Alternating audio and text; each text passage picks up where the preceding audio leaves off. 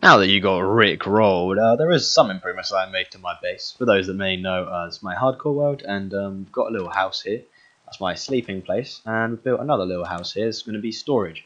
I'm going to move every single thing from these chests into those, and we're also going to build more houses, and um, also uh, just a bit of this.